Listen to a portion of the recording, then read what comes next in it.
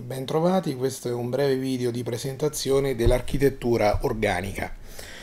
Allora, le caratteristiche principali dell'architettura organica sono alcune comuni all'architettura razionalista e quindi all'architettura moderna, altre un pochino differenti. Comune sicuramente con l'architettura razionale è l'utilizzo di nuovi materiali, soprattutto per la parte strutturale, quindi l'utilizzo dell'acciaio e del cemento armato che sono materiali che permettono eh, la realizzazione di forme fino a quel momento impensabili. Le caratteristiche invece proprie dell'architettura organica sono la prima che la forma degli edifici progettati scaturiscono dal contesto, cioè hanno senso perché realizzati in quel particolare luogo. I volumi sono dei volumi articolati, non più volumi es- eh, estremamente semplici come quelli dell'architettura razionalista, ma spesso dei volumi proprio articolati come se fosse un vero e proprio organismo. I materiali di finitura utilizzati sono i materiali locali, i materiali proprio del luogo e quindi dell'ambiente circostante al progetto. Bene, per, eh, per questo video ho utilizzato parte della presentazione, eh, di una presentazione fatta su questo argomento dalla professoressa Emanuela Pulvirenti e che è pubblicata anche sul sito didatticarte.it che è un sito dove è possibile reperire molto materiale interessante proprio sui temi della storia dell'arte e della storia dell'architettura.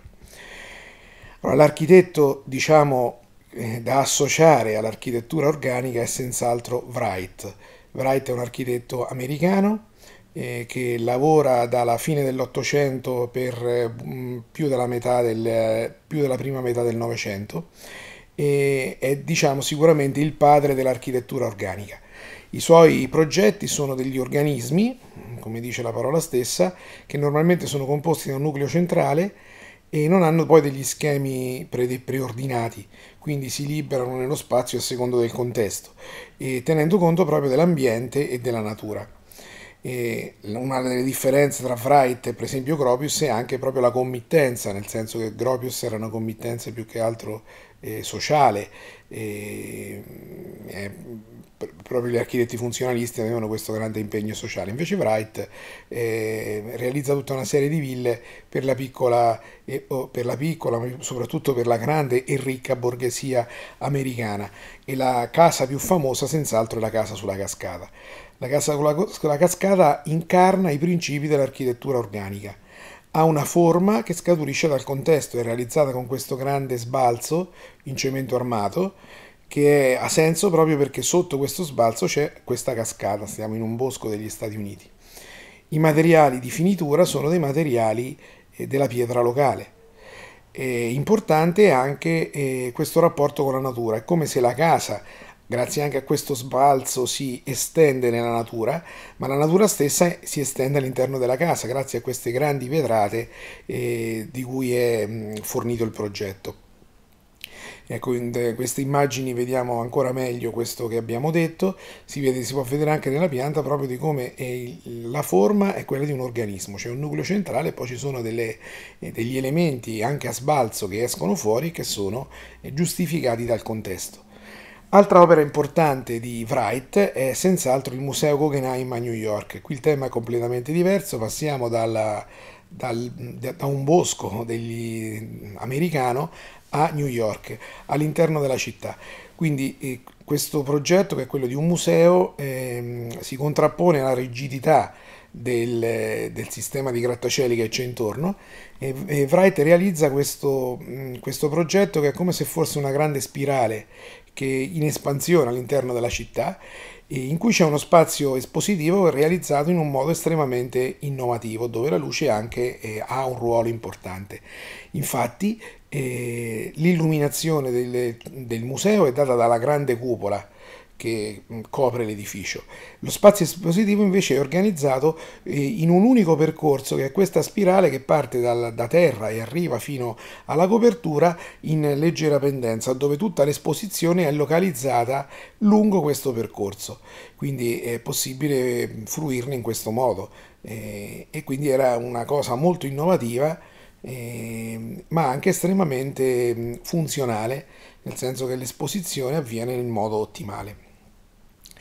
Bene, ha da segnalare anche, oltre Wright, anche un altro architetto importante, un architetto finlandese che si chiama Alvar Aalto, che in realtà si colloca un pochino in una via di mezzo tra l'architettura organica e l'architettura razionale, nel senso che l'architettura di Alvaralto ha senz'altro dei, dei riferimenti razionalisti, ma anche molti riferimenti organici.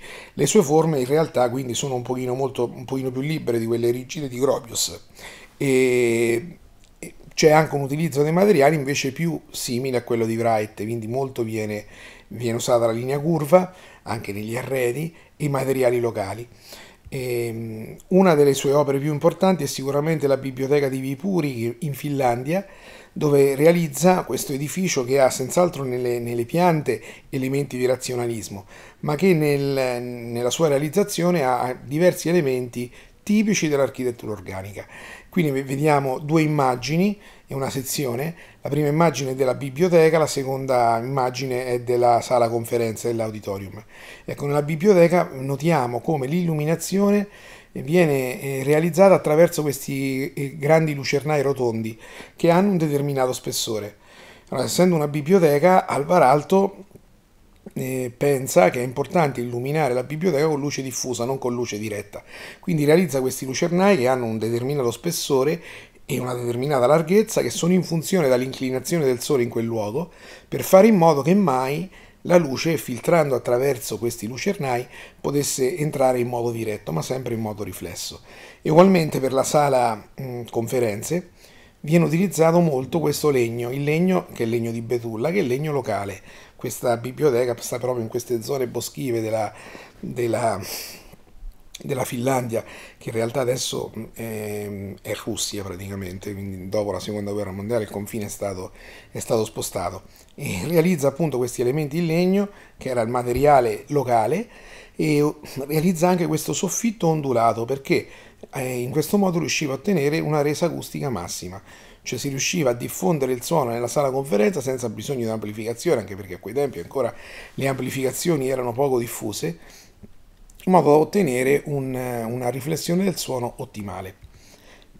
E questa sua concezione viene portata avanti anche negli arredi, quindi realizza tutta una serie di, di arredi che sono anche famosi e, e in produzione tutt'oggi, dove viene usato spesso questo legno di betulla per le sedute e le linee curve ondulate in modo da ottenere il massimo anche dal punto di vista ergonomico. Altra opera importante di Alvaralto è il sanatorio di Paimio. E questo sanatorio ha degli elementi senz'altro razionali perché mm, vedendo anche la pianta ha un'impostazione diciamo mm, che, mm, tipica del funzionalismo, un po' come la Bauhaus di Gropius però poi dopo ci sono tutta un'altra serie di elementi che hanno delle inclinazioni diverse, tenendo conto del luogo, tenendo conto dell'illuminazione naturale, eh, naturale e tenendo conto della reazione. Quindi i volumi non scaturiscono soltanto dalla funzione, ma anche dal contesto e dal luogo. Una delle ultime sue opere che realizza Alvaralto è una chiesa che realizza in Italia nel 1978 a Riola di Vergato. È una chiesa che ha un volume diciamo abbastanza importante ma che all'interno fa un effetto sicuramente differente in quanto è realizzato con tutta una serie di telai decrescenti e tutta una serie di vetrate che all'interno danno un grande senso di leggerezza, al contrario di quello che, che come possiamo vedere è visibile dall'esterno, un grande senso di leggerezza, un grande senso di luce e quindi eh, diciamo degli elementi che eh, invitano alla spiritualità. Bene, vi ringrazio per l'attenzione e alla prossima occasione.